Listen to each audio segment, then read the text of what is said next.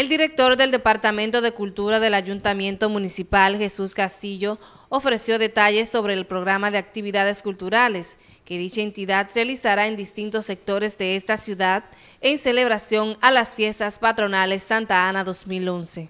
Ahora tenemos un despliegue enorme, muy vasto, de actividades culturales, comenzando con los barrios. Hay muchos barrios integrados para realizar estas actividades tenemos el barrio de, San Martín, tenemos el barrio de Vital Valle, tenemos el Espínola, tenemos el Hermana Mirabal y estamos trabajando para complacer a algunos compañeros que quieren actividades también en los rieles.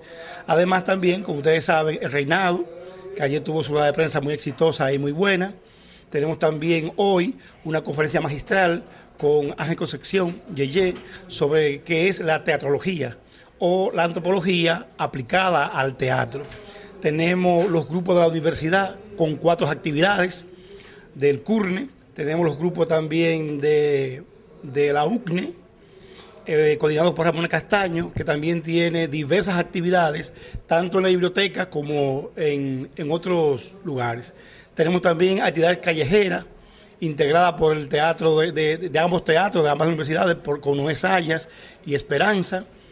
Y tenemos también, eh, se puede decir, un evento internacional con Eduardo Bax, que tiene desde, desde hoy, comenzamos hoy, lo que se llama las estatuas vivas o el teatro de plástica o congelación, como se le llama en el lenguaje propio técnico teatral.